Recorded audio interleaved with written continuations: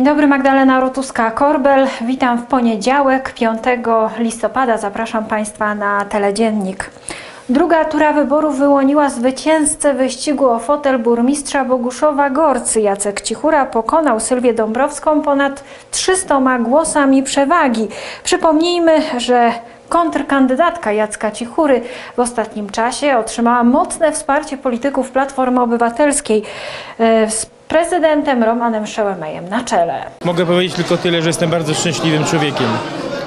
Chciałem, aby moje miasto, Boguszów Gorce, zasługiwało na dobrego gospodarza.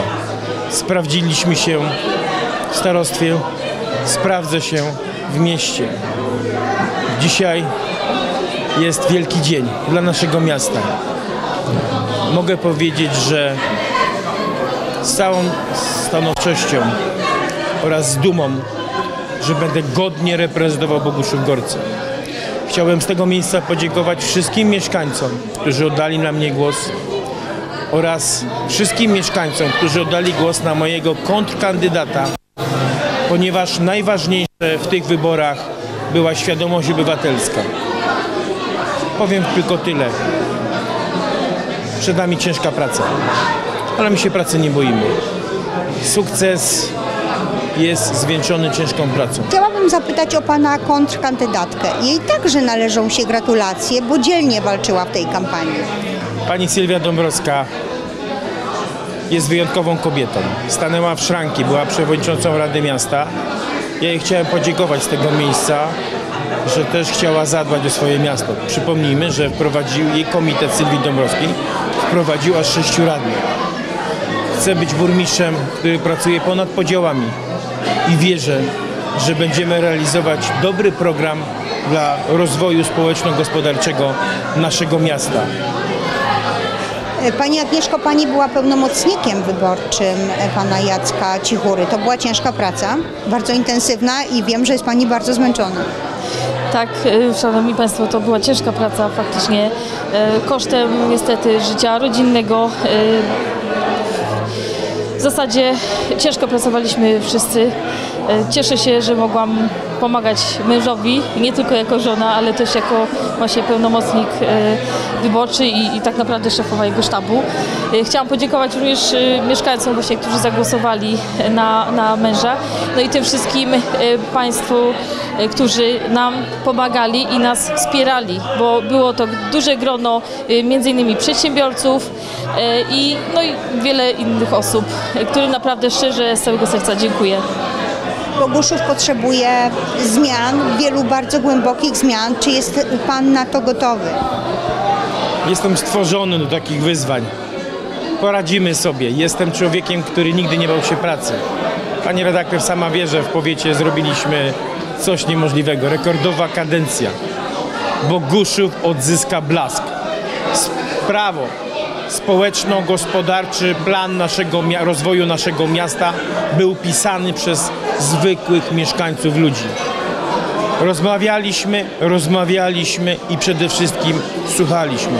Podchodzę z pokorą do wyniku i zdaję sobie z tego sprawę, że czeka nas wielkie wyzwanie. Ale wierzę, że nam się uda. Jestem szczęśliwym człowiekiem. Panie Sławomirze, ta kampania była bardzo intensywna, bardzo energetyczna. Wiele się działo w tej kampanii. Dzisiaj e, okazało się, że to właśnie e, Państwo wygraliście te wybory. Dlatego bardzo serdecznie dziękuję wszystkim mieszkańcom tutaj Boguszowa Gorc, którzy oddali głos na Jacka Cichurę, starostę, no teraz już naszego burmistrza miasta Boguszowa Gorc. Wszystkim dziękuję. Dziękuję wszystkim za pomoc, za wsparcie, y, wsparcie nam pełnomocnika wyborczego, wsparcie mojej rodziny, mojej małżonki. Jak ja mówię, no wszystkim dziękuję bardzo osobom, które nam pomogły. Jesteśmy bardzo wdzięczni za to.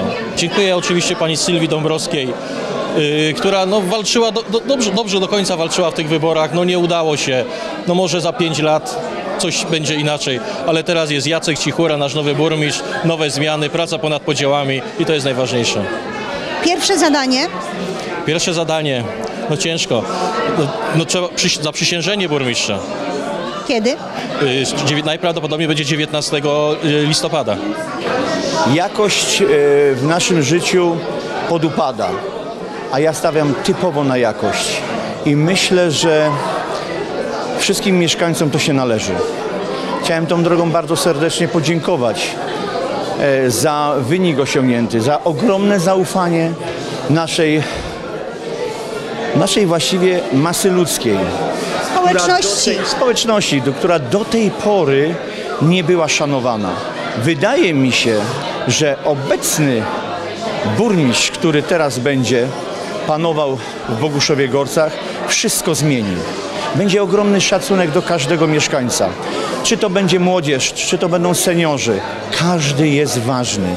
Każda kostka granitowa jest ważna. Każdy skrawek ziemi jest ważny. Powinniśmy to jak najszybciej zagospodarować, wzmóc jedność w całej naszym Boguszowie Gorcach, żeby ludzie potrafili uszanować to, co już mamy, ale ogromną rzeszę rzeczy trzeba zmienić, zrobić na korzyść dla normalnego mieszkańca. Jeszcze raz dziękuję wszystkim za to, że byli przy Jacku Cichurze i myślę, że nie, nie będziemy się wstydzić po pięciu latach. Również chciałem bardzo serdecznie podziękować konkurencji za to, że oprócz hejtu wylanego na biznesmenów, których bronię tutaj, bo my tylko i wyłącznie jesteśmy po to, że chcemy dalej pracować. Pokazaliśmy ze wszystkich swoich sił, że potrafimy to zrobić, ale byliśmy niesłyszani przez władzę, która rządziła. Nie byliśmy szanowani. Więcej, zostaliśmy zepchnięci na margines. Nie chodzi nam o to, żeby ktoś do mnie mówił per pan. Do mnie można mówić prosto, zdzichu. Ale ważne, żebyśmy się nawzajem szanowali, wspierali każdą inwestycję. Inwestycje mają być przemyślane.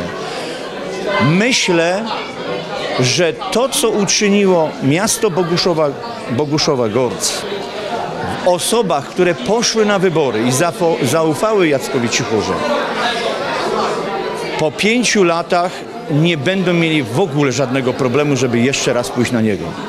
Życzę mu tego i najważniejsze, żeby był zdrowy, pełny sił do działania i osiągnął sukces po pięciu latach. Będziemy szanować opozycję, mówi Paweł Ozga, nowo wybrany burmistrz Świebodzic. Odchodzący z tego stanowiska Bogdan Koszuchowicz będzie zasiadał w Radzie Miejskiej. Z całym szacunkiem chciałbym podziękować wszystkim wyborcom, wszystkim mieszkańcom miasta Świebodzic, którzy oddali głos na mnie, na moich radnych. Przy okazji chciałbym podziękować również dla komitetu y, pana Szafrańca, y, różnie z, z radnymi. Jest to wielka sprawa. Tak jak na wspólnym plakacie mieliśmy, że mamy wspólny cel. Połączyliśmy siły i osiągniemy ten cel dla miasta Świebodzic. I myślę, że pozostałą część, która nie głosowała na nas, przekonamy, że warto było spróbować. Pierwsze zadanie.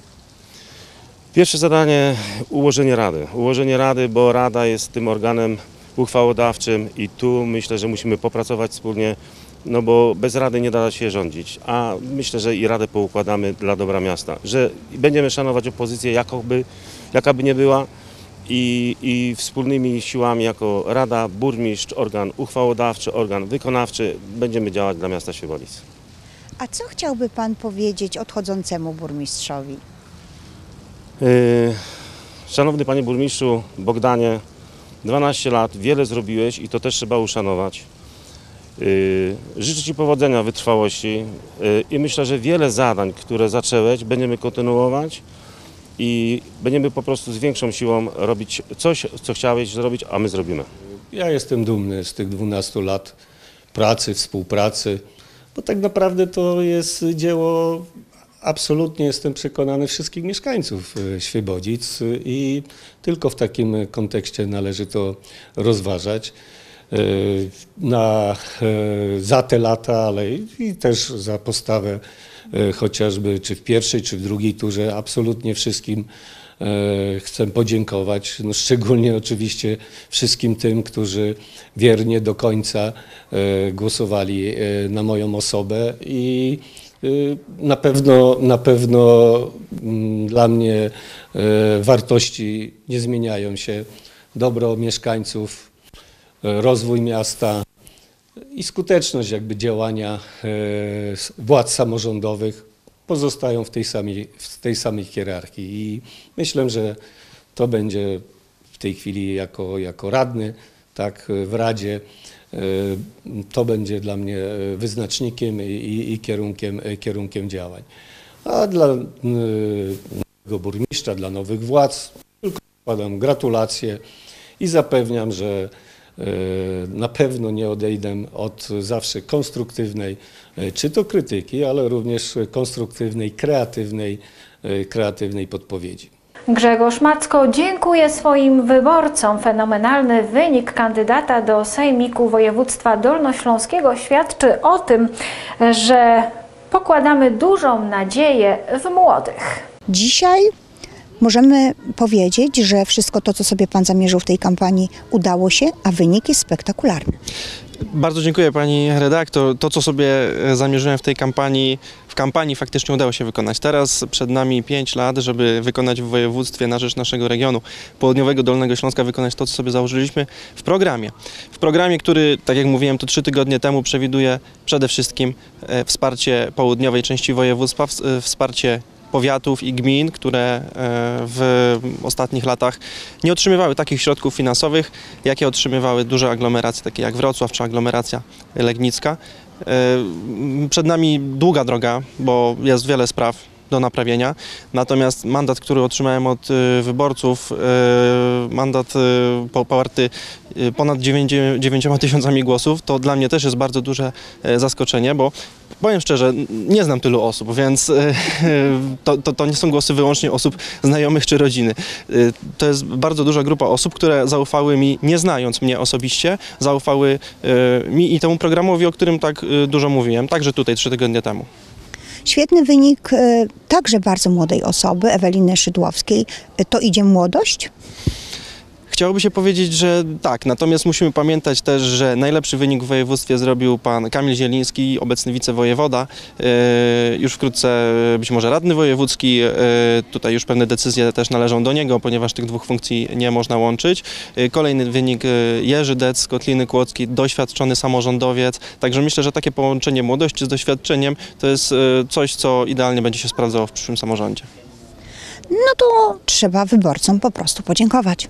Bardzo serdecznie dziękuję wszystkim Państwu, którzy zdecydowali się poprzeć listę Prawa i Sprawiedliwości i listę Zjednoczonej Prawicy. Osiągnęliśmy e, w te, w te wybory w 2018 roku najlepszy wynik w historii naszych wyborów samorządowych. Ponad e, prawie 70 tysięcy głosów.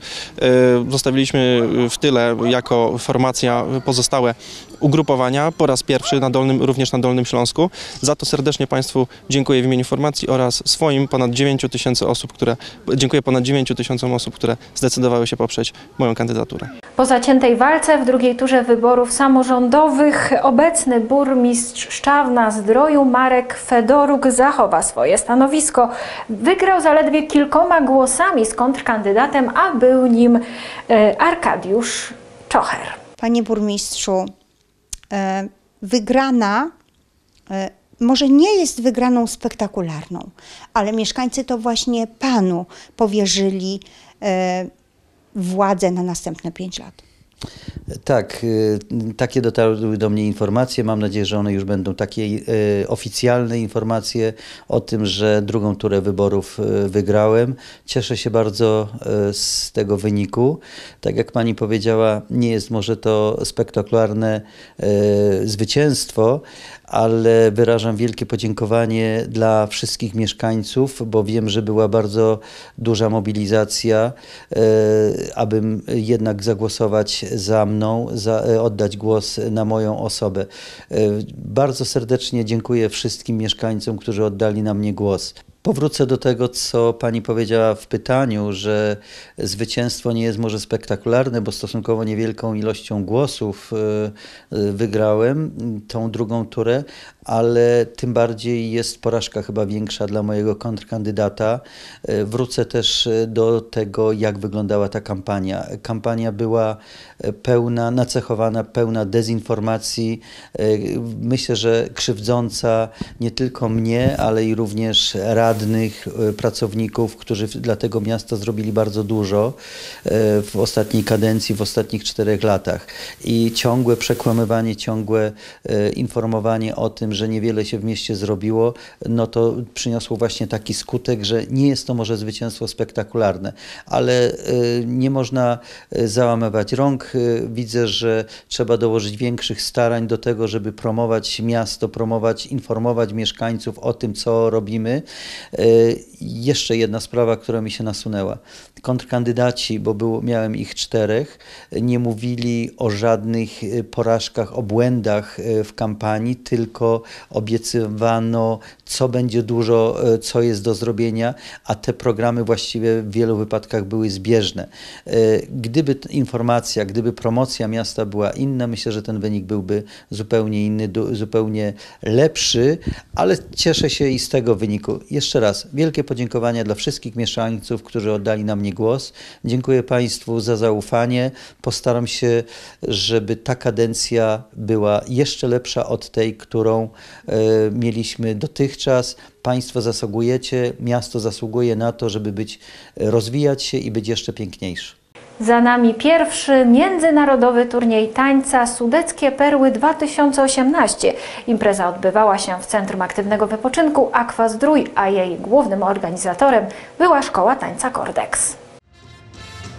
Jednocześnie, Szanowni Państwo, podczas dzisiejszego wieczoru oglądać będziemy zmagania w ramach Mistrzostw Europy Drużyn Narodowych. Poproszę o duże, duże brawa, ponieważ już pojawiają się reprezentanci Białorusi. Zapraszam.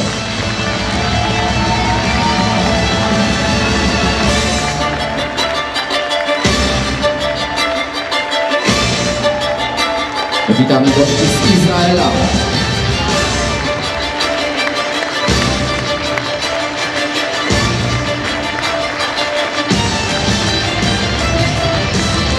Witamy gości z Rumunii.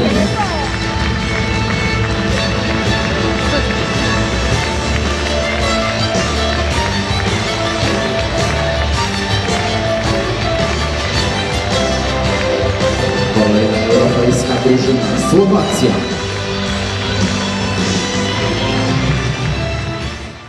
miniony weekend w hali widowiskowo-sportowej Aqua Zdrój odbył się międzynarodowy turniej tańca Sudeckie Perły. Europejska Federacja Sportu Tanecznego powierzyła organizację tej imprezy Szkole Tańca Cordex. To pierwszy wraz w historii Polski i przede wszystkim Wałbrzycha. Proszę Państwa, to tak jak z tym trawnikiem na Wembley. Co zrobić, żeby on był twardy? Odpowiedziano nic, kosić przez 200 lat. Myśmy nie czekali 200 lat, myśmy czekali 20 lat, ponad 20 lat, ponieważ tyle lat działa Szkoła Tańca e, w Wałbrzychu, Szkoła Tańca Cordex, a tak naprawdę po chyba 15 czy 20 mistrzostwach, e, turniejach, które zorganizowaliśmy w Wałbrzychu, no przyszło nam do głowy, żeby zrobić coś więcej. Pierwszym krokiem były eliminacje do Mistrzostw Europy i Mistrzostw Świata. Widocznie federacja uznała, że e, wyszło tam nieźle, no, to nam nieźle. No i dzisiaj w Wałbrzychu możemy gościć e, drużyny, które reprezentują e, kraje e, naszej federacji. Podkreślam, kraje Federacji Euro, Tańca Sportowego, a nie mówię kraje Europy, bowiem Izrael jest poza Europą, natomiast jest członkiem naszej Europejskiej Federacji.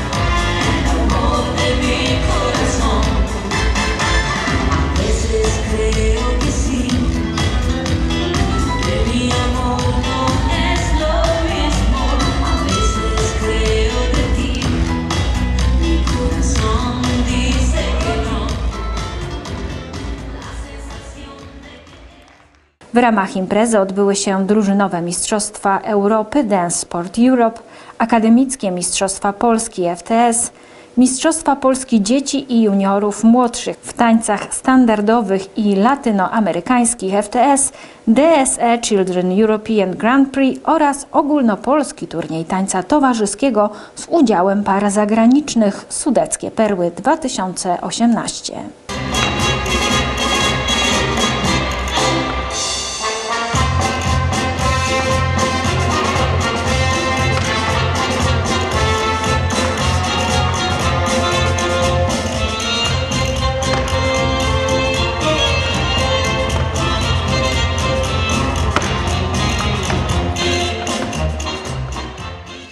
Pierwszy raz e, w Polsce, pierwszy raz w ogóle oficjalne. I proszę Państwa, po raz pierwszy w historii Wałbrzycha Wałbrzyska para taneczna jest członkiem kadry narodowej, reprezentuje Polskę tutaj. Dzisiaj ją zobaczymy e, na e, parkiecie. Dzisiaj już ta para też stanęła na podium innych e, imprez tanecznych, także tworzy się pewien klimat do marki, jak słusznie zostało powiedziane, sudeckich pereł. I tutaj taka mała ciekawostka na koniec. Proszę Państwa, od XIV wieku do XVIII wieku Kotlina Kłodzka, Kotlina Jeleniogórska była producentem pereł. Tutaj rosły, tutaj żyły e, istoty, żyły małże, które e, produkowały perły. Z tych pereł robiono naszyjniki na dwory królewskie i dzisiaj e, na rzece Bóbr już jest odtworzona, już są zarodki pereł, także to nie tylko będą sudeckie perły w postaci perełek tanecznych, ale również chcemy w jakiś sposób wypromować nową markę taneczną, ale również pokazać, że Dolny Śląsk to nie tylko węgiel, ale również perły. Perły również takie jak mieszkańcy tego wspaniałego regionu, do którego zapraszam tych, którzy dzisiaj są w Wałbrzychu, a przyjechali do nas w odwiedziny, żeby po raz kolejny jeszcze u nas się znaleźli i ci cieszyli, podziwiali to piękne miasto. Zarówno publiczność, która gorąco oklaskiwała uczestników turniejów, jak i dziennikarze mają nadzieję, że to nie pierwsza i nie ostatnia impreza taneczna tej rangi organizowana przez Szkołę Tańca Kordex. Nie chciałbym tutaj się wypowiadać za to, co federacja powie. To dużo zależy od nas, Wałbrzyszan, żebyśmy chcieli. A żebyśmy chcieli, to znaczy, żebyśmy wypełniali po brzegi e, wszystkie imprezy taneczne, które będą się w Wałbrzychu odbywały, bo odbywały się, odbywają się. No i dzięki wspaniałym rodzicom, którzy funkcjonują e, w klubie tańca Kordex, w szkole tańca Kordex, e, dzięki fantastycznej atmosferze, która jest w mieście, bo było trudno, ale jest fajnie. O, e, atmosfera była cudowna. Muszę powiedzieć, że chciałbym, żeby moi koledzy z innych miast tak e, pozytywnie wyrażali się o pracownikach ratusza wałbrzyskiego, gdzie właściwie na co dzień jako mieszkańcy mamy problemy, bo idziemy coś załatwić za, zawsze z czymś i narzekamy, bo taka jest natura, a tutaj e, dla Wałbrzycha zrobiono bardzo wiele i możemy tych sportowców tu mieć w Wałbrzychu. Organizację imprezy wsparło wielu partnerów, wśród nich ościenne gminy, Centrum Aktywnego Wypoczynku Akwazdrój oraz Wałbrzyskie Zakłady Koksownicze Wiktoria.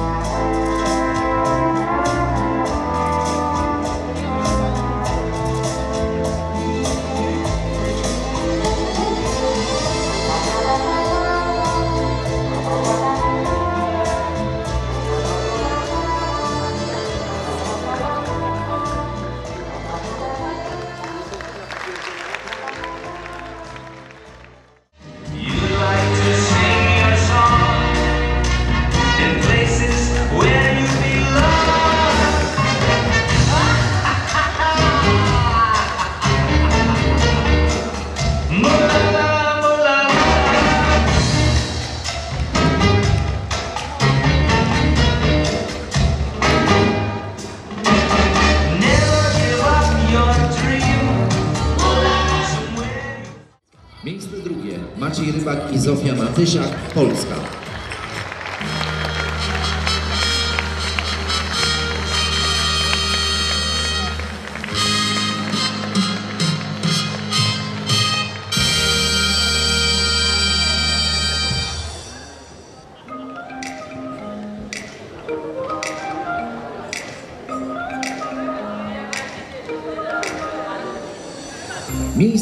Mateusz Stawowy i Sara Silva, Polska.